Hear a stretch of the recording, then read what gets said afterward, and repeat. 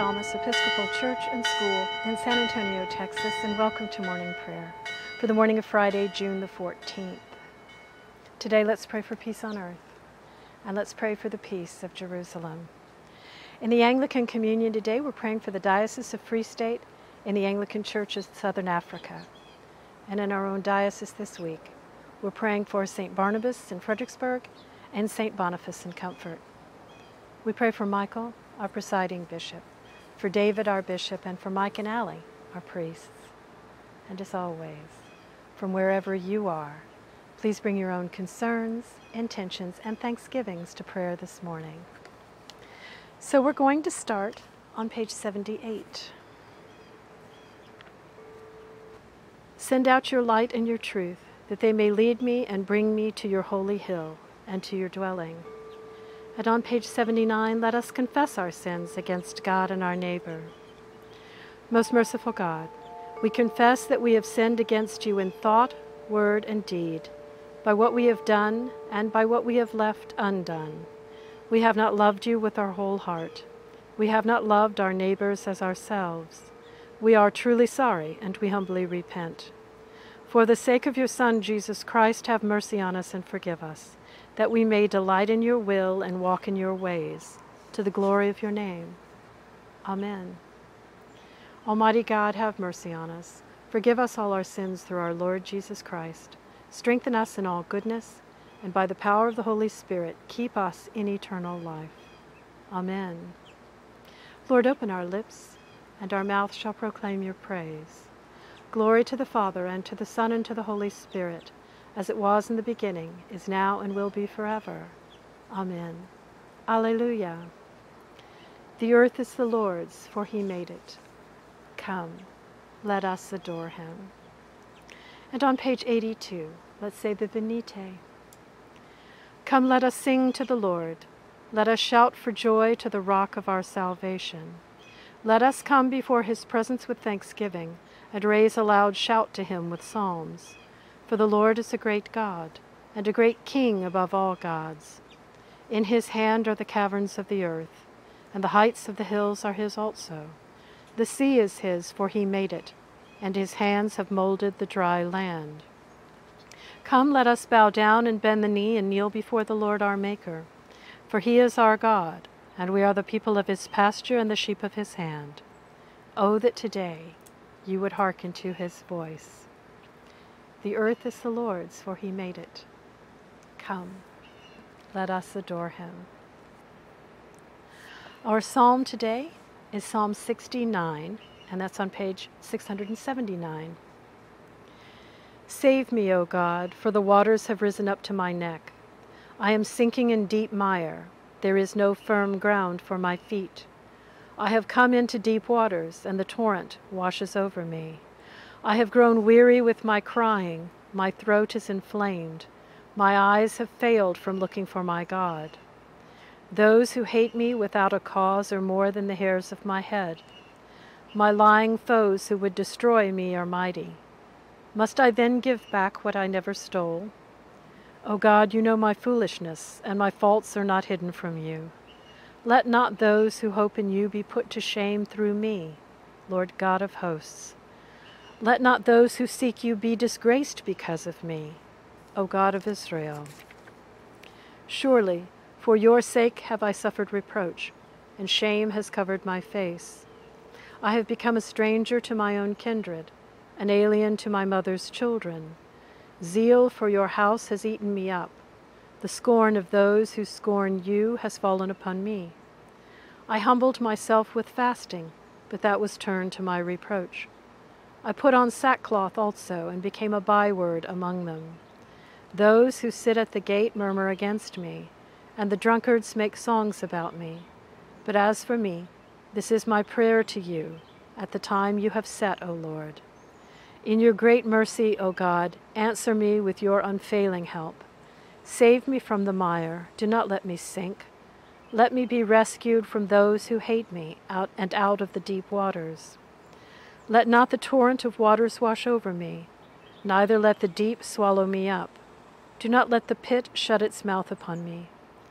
Answer me, O Lord, for your love is kind. In your great compassion, turn to me. Hide not your face from your servant. Be swift and answer me, for I am in distress. Draw near to me and redeem me. Because of my enemies, deliver me. You know my reproach, my shame, and my dishonor. My adversaries are all in your sight. Reproach has broken my heart, and it cannot be healed.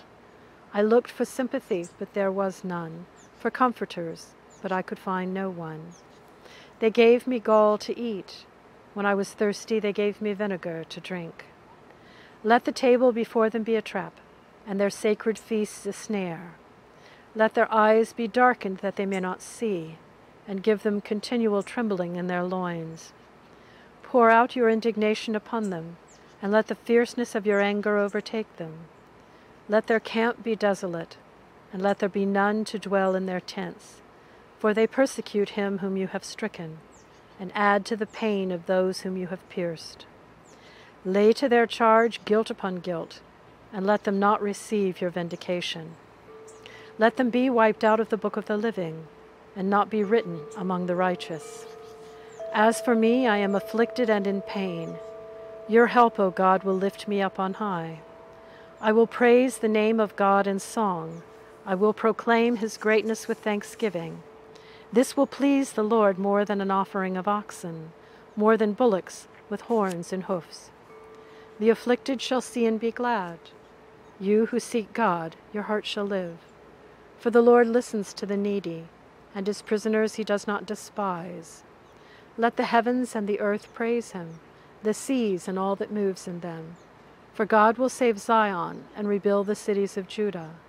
They shall live there and have it in possession. The children of his servants will inherit it, and those who love his name will dwell therein. Glory to the Father, and to the Son, and to the Holy Spirit as it was in the beginning, is now, and will be forever. Amen. Let's go to our readings. In the letter of St. Paul to the Galatians, we are going to finish up chapter 5 and go into chapter 6. So we're going to read um, from chapter 5, verse 25, and we're going to go through chapter 6, verse 10. If we live by the Spirit, let us also be guided by the Spirit. Let us not become conceited, competing against one another, envying one another. My friends, if anyone is detected in a transgression, you who have received the Spirit should restore such a one in a spirit of gentleness. Take care that you yourselves are not tempted. Bear one another's burdens, and in this way you will fulfill the law of Christ. For if those who are nothing think they are something, they deceive themselves. All must test their own work. Then that work, rather than their neighbor's work, will become a cause for pride, for all must carry their own loads. Those who are taught the word must share in all good things with their teacher. Do not be deceived. God is not mocked, for you reap whatever you sow. If you sow to your own flesh, you will reap corruption from the flesh. But if you sow to the Spirit, you will reap eternal life from the Spirit. So let us not grow weary in doing what is right, for we will reap at harvest time if we do not give up. So then, whenever we have an opportunity, let us work for the good of all, and especially for those of the family of faith. The word of the Lord. Thanks be to God. Let's go to our first canticle, which is the second song of Isaiah on page 86. Seek the Lord while he wills to be found. Call upon him when he draws near. Let the wicked forsake their ways and the evil ones their thoughts, and let them turn to the Lord, and he will have compassion, and to our God, for he will richly pardon. For my thoughts are not your thoughts, nor your ways my ways, says the Lord. For as the heavens are higher than the earth, so are my ways higher than your ways, and my thoughts than your thoughts. For as rain and snow fall from the heavens, and return not again, but water the earth, bringing forth life and giving growth, seed for sowing and bread for eating, so is my word that goes forth from my mouth. It will not return to me empty, but it will accomplish that which I have purposed, and prosper in that for which I sent it. Glory to the Father, and to the Son, and to the Holy Spirit, as it was in the beginning, is now, and will be forever. Amen. And in our Gospel reading for today, in the Gospel of St. Matthew, we are going to finish up chapter 16. We are going to begin with verse 21 and go through verse 28. From that time on, Jesus began to show his disciples that he must go to Jerusalem and undergo great suffering at the hands of the elders and chief priests and scribes, and be killed, and on the third day be raised. And Peter took him aside and began to rebuke him, saying, God forbid it, Lord. This must never happen to you. But Jesus turned and said to Peter, Get behind me, Satan. You are a stumbling block to me, for you are setting your mind not on divine things, but on human things. Then Jesus told his disciples, If any want to become my followers, let them deny themselves and take up their cross and follow me.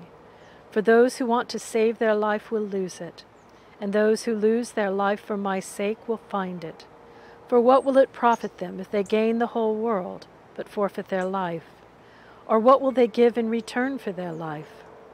For the Son of Man is to come with his angels in the glory of his Father and then he will repay everyone for what has been done. Truly I tell you, there are some standing here who will not taste death before they see the Son of Man coming in his kingdom. The word of the Lord. Thanks be to God. And our second canticle today is or the Song to the Lamb on page 93. Splendor and honor and kingly power are yours by right, O Lord our God. For you created everything that is, and by your will they were created and have their being. And yours by right, O Lamb that was slain, for with your blood you have redeemed for God from every family, language, people, and nation, a kingdom of priests to serve our God. And so to him who sits upon the throne, and to Christ the Lamb, be worship and praise dominion and splendor, forever and forevermore. And on page 96, let's say the Apostles' Creed. I believe in God, the Father Almighty, creator of heaven and earth. I believe in Jesus Christ, his only Son, our Lord. He was conceived by the power of the Holy Spirit and born of the Virgin Mary. He suffered under Pontius Pilate was crucified, died, and was buried. He descended to the dead. On the third day he rose again. He ascended into heaven and is seated at the right hand of the Father. He will come again to judge the living and the dead. I believe in the Holy Spirit, the Holy Catholic Church, the communion of saints, the forgiveness of sins, the resurrection of the body, and the life everlasting. Amen. The Lord be with you. And now let's pray together the prayer that Jesus gave us. Our Father, who art in heaven, hallowed be thy name. Thy kingdom come, thy will be done on earth as it is in heaven. Give us this day our daily bread, and forgive us our trespasses, as we forgive those who trespass against us. And lead us not into temptation, but deliver us from evil. For thine is the kingdom, the power, and the glory, forever and ever. Amen. And on page 97, let's say suffrages A. Show us your mercy, O Lord, and grant us your salvation. Clothe your ministers with righteousness. Let your people sing with joy. Give peace, O Lord, in all the world, for only in you can we live in safety. Lord, keep this nation under your care and guide us in the way of justice and truth. Let your way be known upon earth, your saving health among all nations. Let not the needy, O Lord, be forgotten, nor the hope of the poor be taken away. Create in us clean hearts, O God, and sustain us with your Holy Spirit. Our collect for today is the collect for Proper 5, and that's on page 229. O God, from whom all good proceeds, grant that by your inspiration we may think those things that are right, and by your merciful guiding may do them. Through Jesus Christ our Lord, who lives and reigns with you in the Holy Spirit, one God, forever and ever. Amen. And on page 99, the Collect for Fridays. Almighty God, whose most dear Son went not up to joy, but first he suffered pain, and entered not into glory before he was crucified. Mercifully grant that we, walking in the way of the cross, may find it none other than the way of life and peace, through Jesus Christ, your Son, our Lord. Amen. And on page 100, our prayer for mission. O God, you have made of one blood all the peoples of the earth, and sent your blessed Son to preach peace to those who are far off and to those who are near. Grant that people everywhere may seek after you and find you. Bring the nations into your fold. Pour out your Spirit upon all flesh, and hasten the coming of your kingdom. Through Jesus Christ our Lord. Amen. And on page 102, the prayer of St. Chrysostom. Almighty God, you have given us grace at this time with one accord to make our common supplication to you. And you have promised through your well beloved Son that when two or three are gathered together in his name, you will be in the midst of them. Fulfill now, O Lord, our desires and petitions as may be best for us, granting us in this world knowledge of your truth, and in the age to come life everlasting. Amen.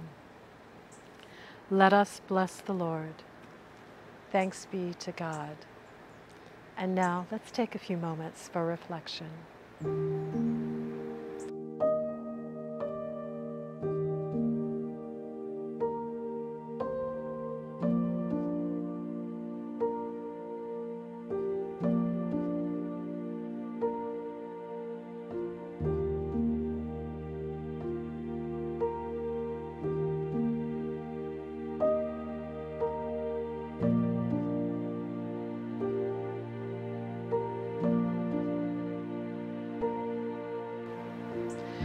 The grace of our Lord Jesus Christ and the love of God and the fellowship of the Holy Spirit be with us all evermore.